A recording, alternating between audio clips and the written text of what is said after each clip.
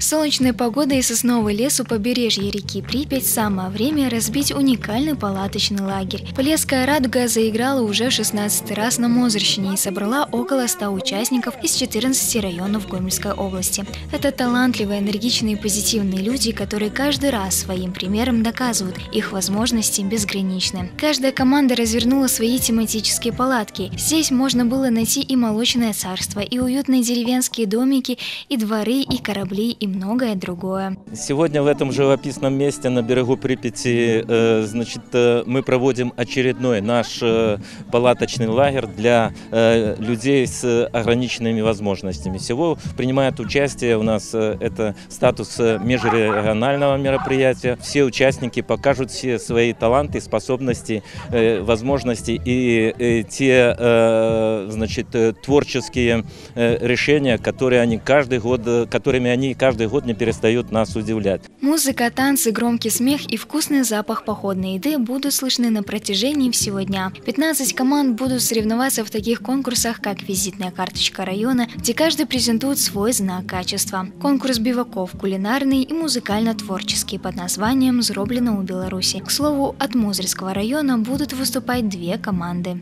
Для нас это уже добрая традиция. Наши ребята, как всегда, очень ждут с трепетом этой встречи, потому что здесь есть возможность возможность пообщаться со своими друзьями, которые уже за столько лет а, появились друг у друга. Да?